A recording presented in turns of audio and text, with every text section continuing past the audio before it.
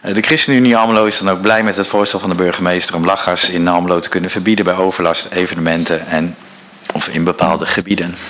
Zo vraagt de CDA-fractie zich af hoe dit gehandhaafd kan worden.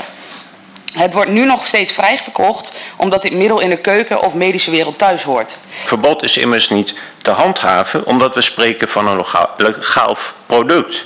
Een maatregel die een stuk effectiever is, is een verbod tijdens evenementen.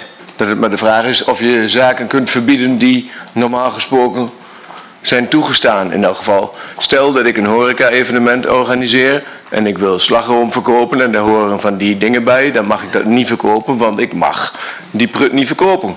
Dat lijkt me een beetje eigenaardig. Dus ik ga geen horeca-evenement meer organiseren. De ene gemeente gebruikt de Milieuwet, de andere gemeente grijpt terug op de Warenwet. En weer een andere gemeente probeert het via de horecawet. Men geeft aan dat een gemeentelijk verbod voor bedrijven die onder de horecawet vallen niet nodig is en zelfs, naar valt aan te nemen, in strijd is met artikel 121 van de gemeentewet in verbinding met artikel 40 van de horecawet. Daarvoor, maar uh, ook in lijn met andere uh, vraagstellers, hoe gaan we het handhaven? Uh, afgelopen weekend uh, lagen in de omgeving van het Amaliaplein, uh, liep ik zaterdagochtend en er lagen aan alle kanten lagen ballonnen. Dus of je nou tegen of voor drugs bent, dan ben je in ieder geval nog tegen ballonnen, lijkt mij. En die gebruiken ze daarbij, dus zou u ook gewoon voor kunnen stemmen. eerst over lachgas en de handhaafbaarheid daarvan. Er valt nu helemaal niks te handhaven, want het is nu niet geregeld.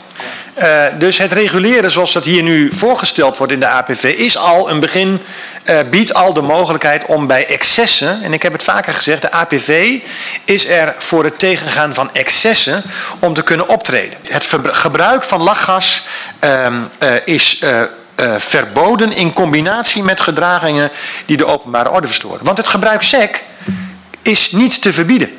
Kijk, ik heb nu het een beetje het gevoel dat ik een carte blanche geef. Hoewel ik het nogmaals graag wil doen en ik allemaal vertrouwen in, in u heb en zo. Maar um, ja, ik, ik, denk ook aan de toekomst en ik denk aan, aan, aan, waar ik voor stem op basis van de informatie die mij ter beschikking staat. Er zijn uitgebracht 30 stemmen. Uh, voor 21 tegen en 9 stemmen. Daarmee is het voorstel aangenomen.